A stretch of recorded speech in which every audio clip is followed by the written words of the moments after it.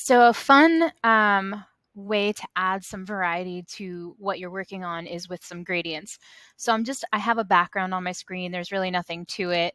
I took the lock off of it, but I just want a background. So if you need like you're creating a sky kind of and you want to start darker and, it kind of gradually get lighter, there's a button right here for the gradients. And sometimes you might see other tools. So I'm just kind of trying to give you an idea of where this is. So there's a gradient tool right here. And then I'm going to just kind of click in the direction I want the gradient to go. So um, I can change the direction. I can start it in different places. So as I click and drag, it's changing the way that gradient looks. So I don't like these colors. Maybe I want them to be more of a blue color scheme. So up here at the top, there is a couple different options. So I'm starting off with a, a linear, and that means it's, uh, it's kind of line by line, getting gradually, but there's a, a, radial. And if I click on the radial, I can click and drag. It gives me like a circular gradient. It transitions from one color to another based on like a circular kind of shape. And then there's other ones that you can kind of mess with as well. They all kind of work the same. I'm going to go back to a linear one. So I'm going to click on this button right here. And so I have, um, it's going from a, a one kind of pink to a purple.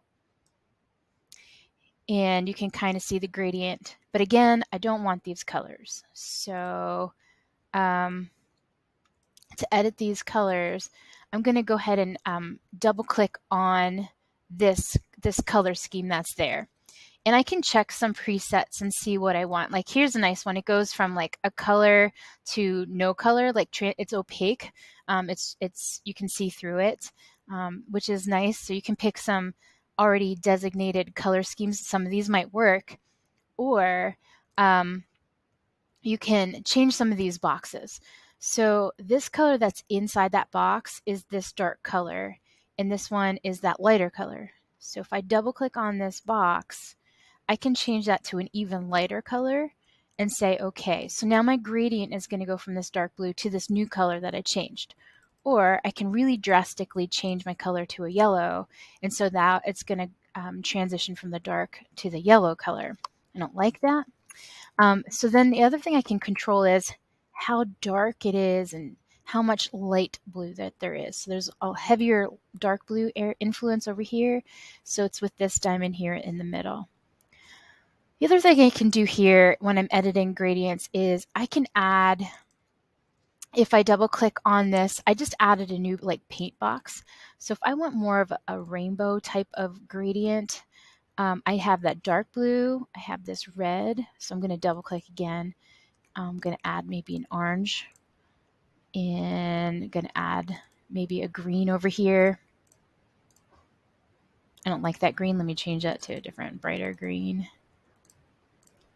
And you can get different effects with your gradients. Now if I click and drag, I have that more radial um, rainbow shaded kind of gradient, which looks kind of cool.